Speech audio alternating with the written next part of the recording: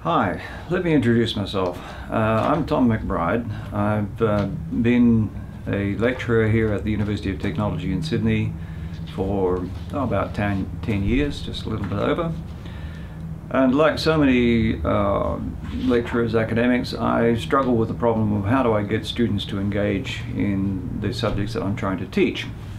Now we know that students learn better and people learn better the more that they can, can engage with the subject. Uh, but so many students, um, they, they turn up to lectures, they listen to the lectures, they might read, read uh, some textbook or some recommended papers, but probably don't do that much more, uh, despite um, that we recommend they uh, do some of the exercises or try things out. It generally doesn't happen, and I've struggled with this for um, quite some time. But in the last uh, two or three years, I've gradually um, introduced and um, revised, improved uh, peer reviews, and they seem to work very well. So let me talk about those. The problem, as I said, is that students um, find it a little bit difficult to engage in the subject. It, it's new and it's different and it's, uh, it's a bit daunting for a start. As well, students now seem ever more to have more demands on their time and um, you know, faced with the choice between something that um, gives them some pleasure and something that makes them feel uncomfortable, as, as learning new things does, then they will just choose not to do the learning. However, when we look at all the information we get back from students about uh, what they enjoy about learning and teaching and um, in the subjects, a lot of them do point out that they really want to know some things. They, they really need to know what is it I'm supposed to be learning at all. Um, I mean, it can be obvious to the person teaching it that you really ought to learn this or that or something else. But when you're new into a topic, th there seems to be a whole range of information, and what of that information should I really pay attention to now? So getting some accurate idea of what they're supposed to learn can be difficult. As well, uh, I think one of the major things that we get in surveys all the time is that students really want to know good feedback, a lot of it. Um, now, if you think in terms of learning almost anything else, for example, uh, learning how to drive a car, the car gives you feedback all the time and you can adjust what you're doing depending on the feedback.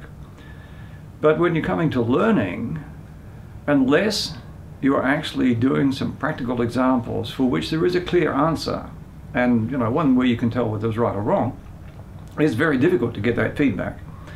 Now in some of the subjects I teach, there isn't really a right answer. I mean, I teach things like quality management and uh, software architecture, uh, process type things, and there isn't there isn't a right answer. Uh, there are lots of answers, and some answers work better than others.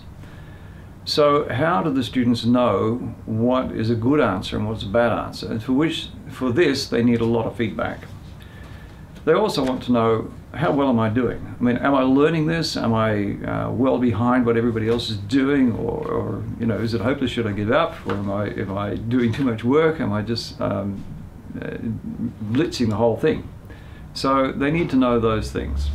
Uh, it can be difficult to, to get that to them. Now, the common response uh, that I've seen in uh, so many uh, papers on teaching, uh, so many workshops that I've attended on teaching, um, and some of the things I've tried myself, is to try somehow to encourage class discussions. That's one response. Another one is uh, group assignments and group discussions. And uh, formative assessment of work in progress and also summative assessment of work in progress. Now all of these have their problems. Um, class discussions, yes, they're great uh, if you happen to be talented enough that you can actually pick on a topic and you can somehow uh, encourage a, an engaging debate in which everybody engages.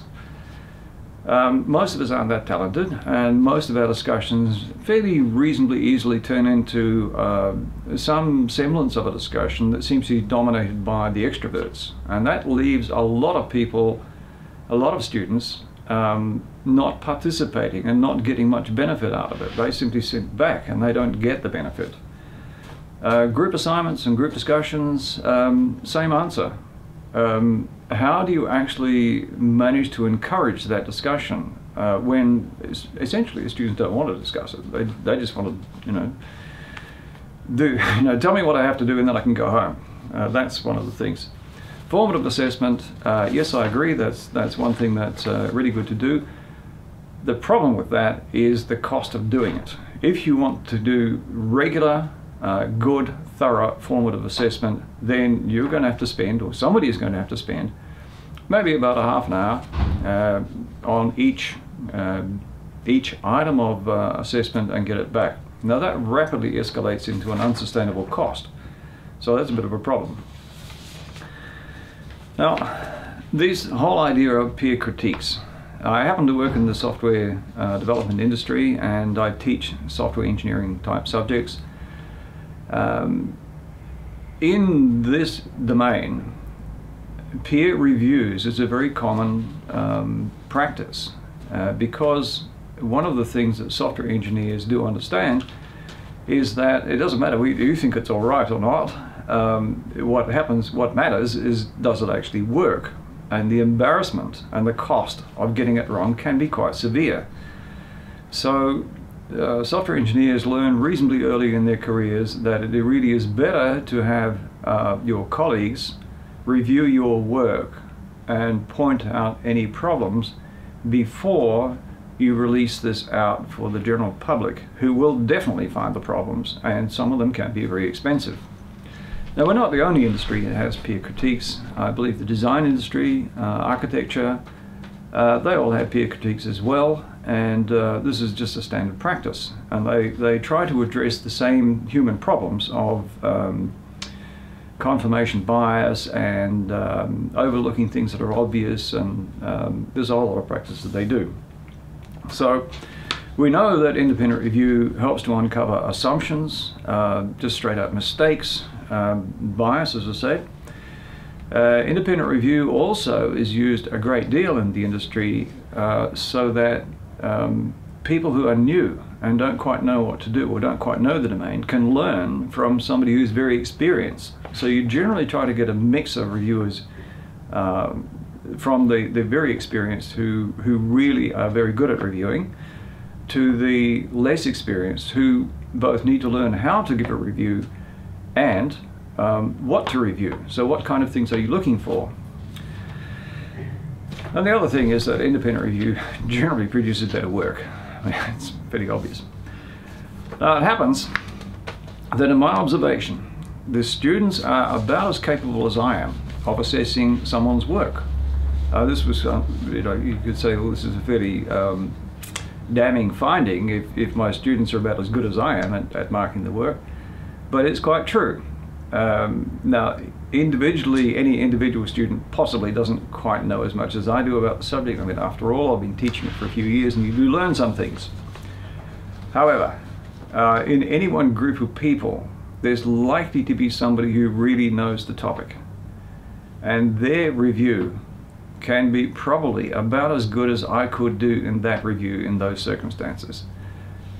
For whatever reason, uh, as I say, my observation is that the feedback and the reviews that I can get from students are about as good as I could do. So collectively, students really are able to identify the good, the bad, and whatever needs improvement. So that's a pretty good outcome. Now I found though that peer reviews need structure. Now this is my observation both from industry where I was a quality manager uh, and from, from reviews in academia. If you simply set somebody the task of saying, well, what's wrong with this, um, you get all sorts of feedback and um, all manner of results. And quite often, not very good. But if you turn it around and say, does it have this property, or is this property uh, present, or has it got this fault, has it done these things? If you ask specific questions, then people will do a much better review because they will answer those questions.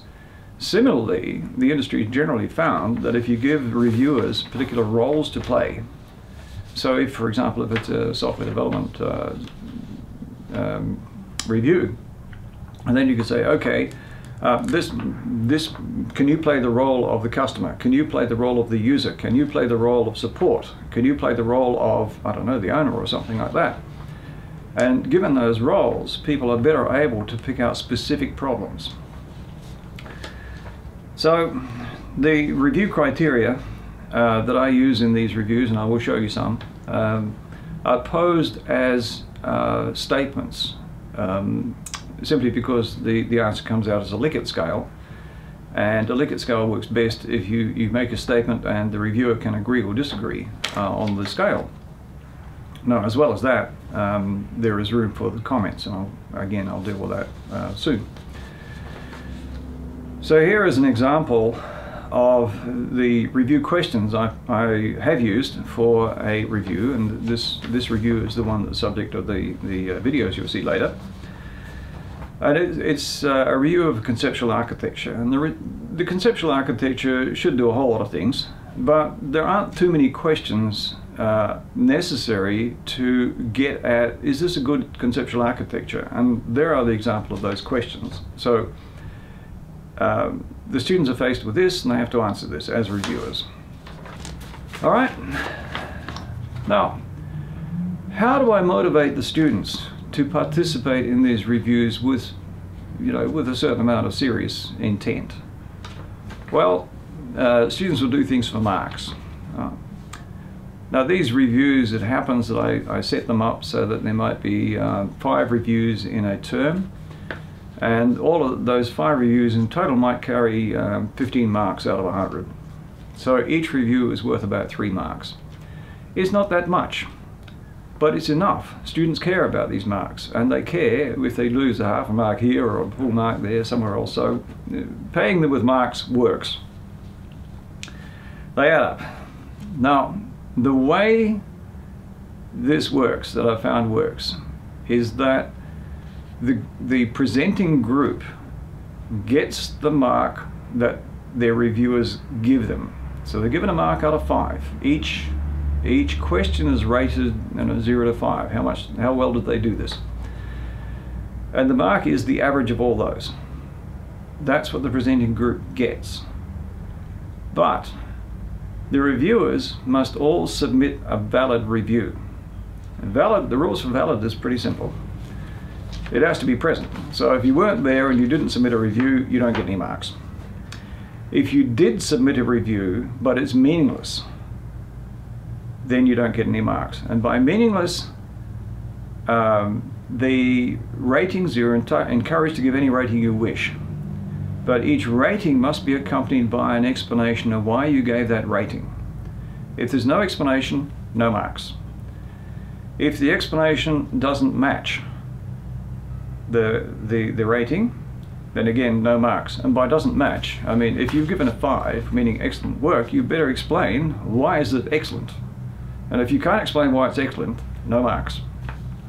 So, how do I justify this? Well, I figure if you don't know enough to give a sensible review, then you don't know the subject well enough to get any marks for it. All right. The comments, um, the comments I gather through Google Forms. Now you could use any kind of survey uh, type you like. I mean, you probably use the same thing with SurveyMonkey or any any form of uh, readily available survey. I happen to use Google Forms because it's easy, uh, it's free, and I get the results in a spreadsheet. Tonight we're going to be recording because I need to show other academics how to run peer reviews and you had practice last week so this week should be pretty cool.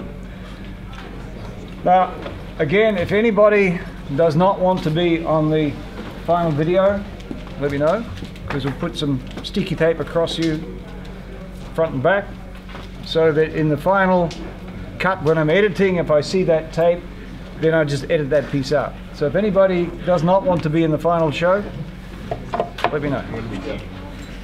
Okay.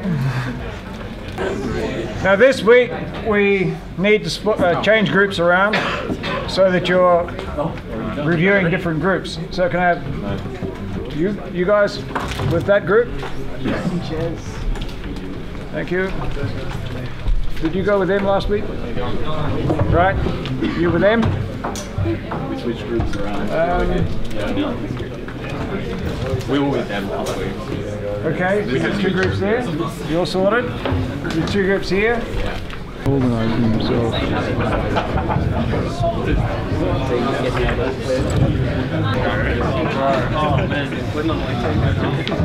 Alright, so there's six of you. So this is So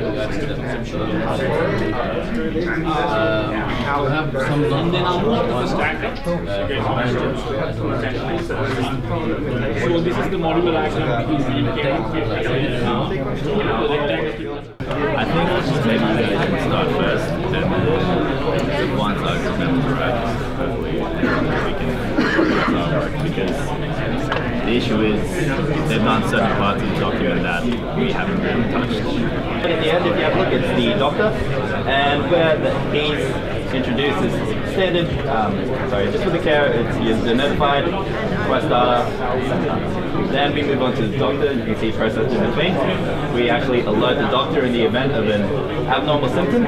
Um, he sends the patient data back, and the doctor also notifies the carer because, in a sense, the carer uh, the database uh, management and the firewall service, uh, GPS service to and uh, communication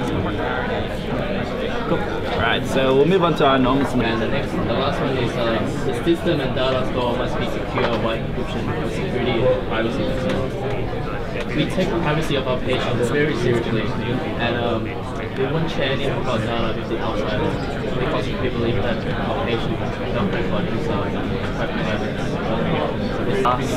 Then they release the assignment. The students are notified of the assignment, and what is going on here? Okay, and then they're allowed to basically submit anytime before the due date. The subject coordinator is given the option to change the due, due date for like individual students from this adventure or whatever, and that will give the Um, these kind of diagrams is they do not show a proper linkage with the code or the programming code. So when we're trying to go and implement this, a programming problem, I guess. It's just produce.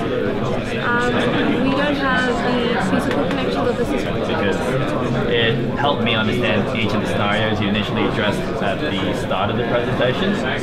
So obviously, if I can like get my head around the whole thing a lot better, it's easier for me to understand your whole document. So I really thought the normal scenarios um, were beneficial for the uh, presentation. Uh, we'll have some London on So this is the modular diagram is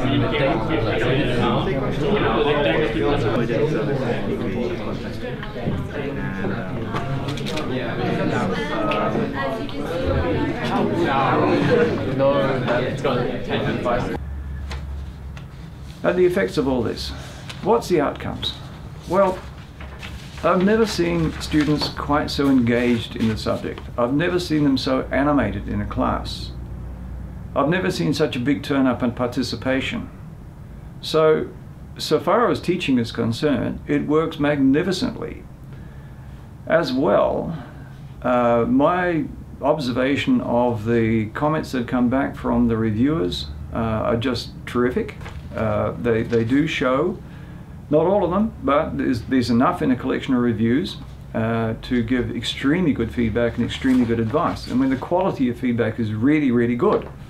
Now, I found this to be consistent across uh, all of the subjects I teach. Uh, so, uh, in terms of uh, is it worthwhile? Yes, it is. It has some magnificent outcomes.